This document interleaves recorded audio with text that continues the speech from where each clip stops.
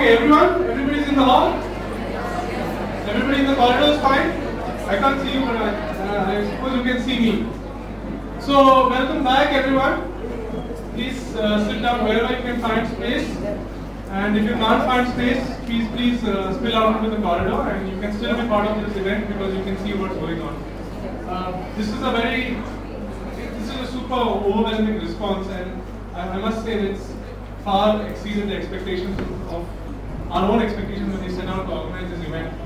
So hopefully next time we will be able to, accommodate more people somehow. But this year uh, we have to make do with this space. Okay, so uh, I have some good news for you. Uh, and the good news is not personal good news to anybody, but as a whole, the papers are being corrected right now and everybody is scored very well. Okay, I, I didn't come across any paper that was below 11 or 12. Out of 25, that's a very good score in any quiz. So that's good. But the flip side, or the bad news part of it, is that means that it, the competition is going to be very tight and everybody is going to be clustered around the 20, 21 mark, I guess, people who qualify on stage. So while the, uh, the, the corrections are being finished and everything is being sorted out, what we'll do is we'll go over the answers of these questions. Okay? So that you will know the answer. We want you to know the answer of what's possible. So uh, what we'll do is so that we can, uh, there are uh, lots of audience prizes also for, for children or parents or whoever who get answers correct from the audience. But we're not going to give any audience prizes during this section. We, we have a long day ahead of us and lots of other quizzes happening. So we'll keep the audience prizes for them. So this one we'll go through relatively quickly. Okay. So the first one was what was the ancient, ancient name of present day Chandor? Chandrapur is right. Chandrapur. All those people who wrote Chandrapur will get correct. Will get it correct. Which charismatic Goan uh, leader was affectionately known as Bhau Sahib? Balakrishna? Okay. Whatever. Bandurkar, they are given surnames, only surnames will do. So Dayanand Bandurkar, I think mostly everybody got this right. If you don't know this one, then uh, uh, you can't be competitive in a Goan history quiz. So Dayanand Bandurkar was the correct answer. This one not many got, I think.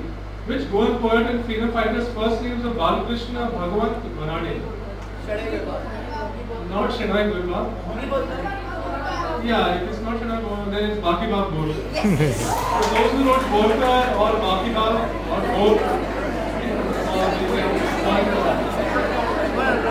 Balakrishna Golkar also. Name of his uh, Okay, 30th of May every year? Statehood Day, that's correct. That's the day that Goa became a state. So those of you who have written, it's the day that Goa became a state. You're given points for that as well. But the word state or statehood had to be in the answer. So I think a lot of us got that. Now, uh, this one I think tripped up a few people. Which word in the name of a Goan political party indicates that at the time of liberation, they were in favor of Goa merging with another big Maharashtra Wadi. That's the one word. Those who have written NGP, those who have written NGP have not got points. Because we wanted a word that indicates that they are pro Maharashtra. Maharashtra Wadi means pro Maharashtra. Those, those who have written Maharashtra Wadi Govandik Party, the whole thing, we have given that because the word Maharashtra Wadi is there. We want to know that you know that word, what it means. The quiz, so you have need to understand what history is about. Now, uh, in which part of Goa would you find the Museum of Christian Art? Old Goa is right. Uh, looks like a lot of people got it correct. Uh, as I said, when you ask which part, some people have written North Goa and some people are written this part. Is that specific enough? We've not given that. When you say where is the where is the secretariat, you say Panjim. You don't say North Goa. So that's why we need a specific answer and we have given only Old Goa. Okay, Museum of Christian Art. Then which tourist landmark in Goa? I thought this was an easy one, but not many got it. Which tourist is Dona Paula?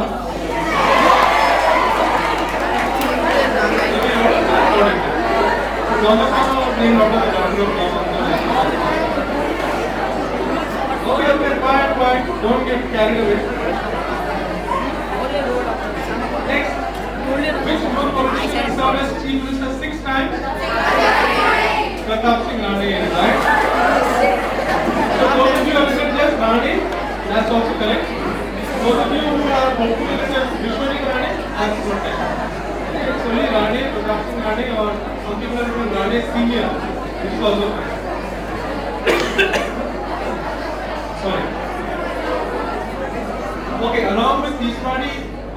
Outside which other taluka from the where is Mormugao is right.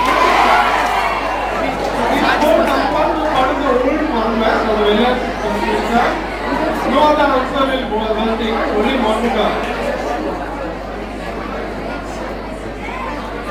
Okay, question number 10 was which port in North Goa gets its name from the Portuguese? That is right, Aguada. Agua means water and there was a, the was because there was a fresh water spring there. I hope everybody can hear me. You guys in the back can hear me? No? People at the back can hear me? Okay, everybody be silent. Now can you hear? So it's not a problem with the sound system. You guys are too loud. Okay, so keep your volume down, then everybody can hear. This is nice. Okay, so what we'll do is after every answer, I'll give you about 20 seconds to pipe down. Because you will obviously scream after the answers, and then we will continue with the next question. this was the easiest one, I don't think anybody missed this. According to legend, who shot an arrow into the sea to create the land? Parshurama is right. Okay, and I think this followed up with probably one of the toughest one. I, I didn't see anybody who got this right. But uh, what is common to these three specific periods in Goa's post-liberation history? April. Oh, somebody got it. Very good. It is President's Rule. Excellent if you got that. Those are the three periods that there was President's Rule. So we didn't have a chief minister or a government at that time. There was President's Rule. So the two keywords we are looking was President's Rule. Nothing else could have done.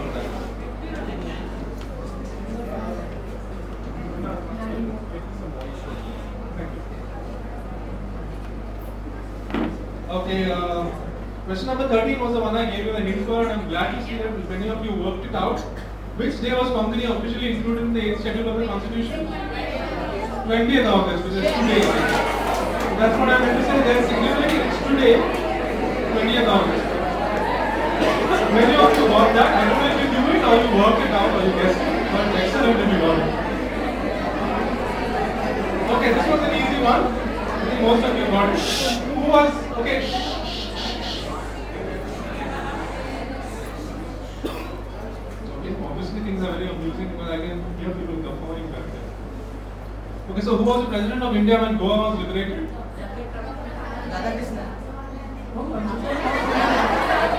Yeah, actually a lot of people wrote Jawaharlal Nehru. You shows that you are prepared for your Goa history, but you didn't prepare for India history.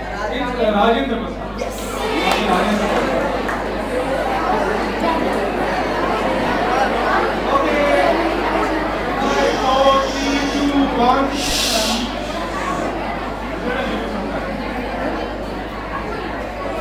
Okay, okay, quiet down.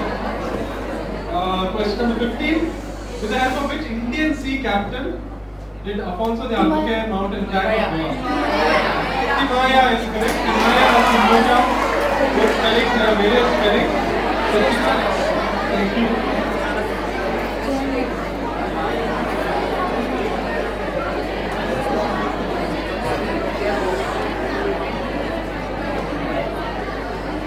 And uh, question number 16.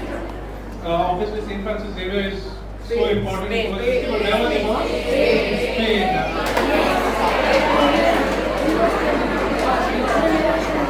Okay.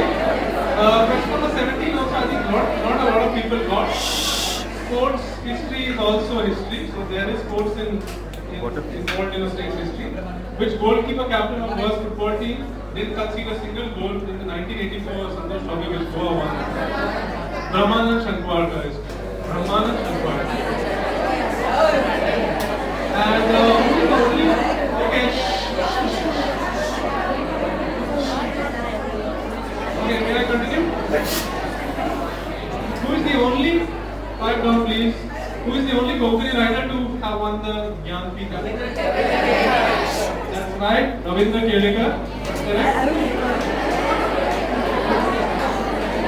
And uh, this one also was an easy one. After which Indian statesman is the Pagoda Stadium named? That is right, Jawaharlal Nehru. Uh, and, this was the other sitter of the quiz because if you come prepared for a Goa history quiz, you had to know this answer. What code name was given to India's military operation? Operation Vijay. Vijay, yes, Vijay.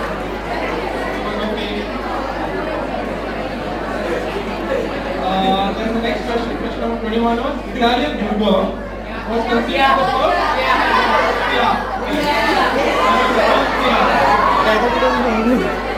I got it Huh?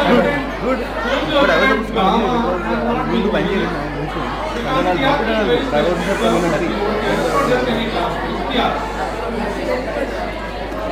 And uh, uh, while on the subject, I was a huge number of people, a lot of people that I saw wrote two exactly wrong. You know, somebody wrote Dona Paula slash Old Goa, which is not even the same answer. They're two different answers. We had to give those kind of answers wrong. Okay, you can't give us two answers. You have to give us one answer. I think it was for the Museum of Christian Art once. Somebody wrote Dona Paula, Old Goa. How can it be Dona Paula and Old Goa? It can't be right. So you're trying to spread your bets, which will get you a wrong. Okay, question number 22, which most of you got. Celebrations associated with this Christian saint, see people in Goa jumping.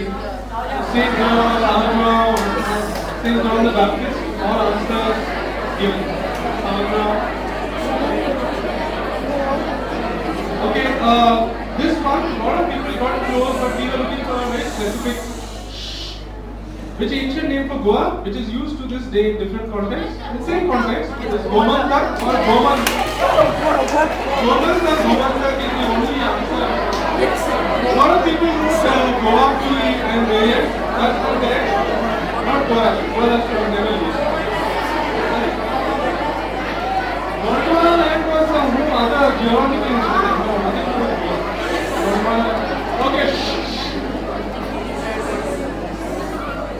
Mela.